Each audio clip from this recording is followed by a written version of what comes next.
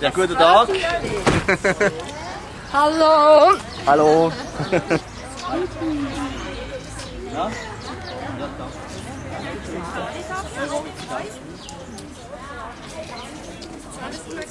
Ali Tobi, willkommen.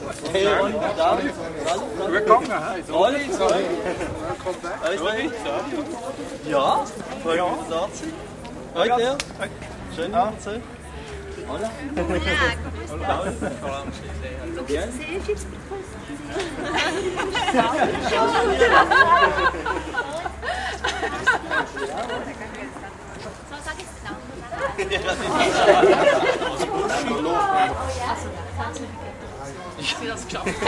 Merci vielmals. Hallo. Freut mich, dass du da bist.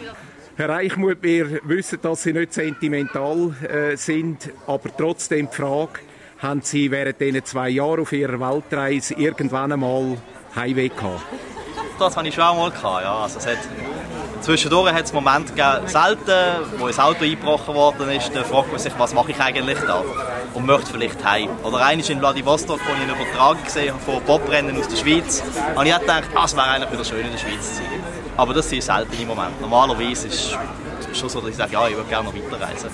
Was würden Sie für einen Ratschlag geben allen Prattlerinnen und Prattler, die Ihnen nacheifern wollen und auch wollen auf eine Weltreise gehen Ja, grundsätzlich es ist es so, ich glaube, der richtige Moment für so etwas kommt nie. Man muss einfach mal sagen, jetzt gang ich. Äh, man kann nicht sagen, ja, vielleicht wird es irgendwann einmal noch einen besseren Moment geben und so, das gibt es nie. Irgendwann muss man gehen und einfach sagen, okay, alles andere ist mir jetzt gleich gegangen. Können Sie uns Ihre Pläne für die Zukunft verraten? Nicht wirklich. Ich habe mir eigentlich gesagt, ich reise bis zum letzten Tag und nachher fange ich mir an überlegen, was ich machen soll in Zukunft.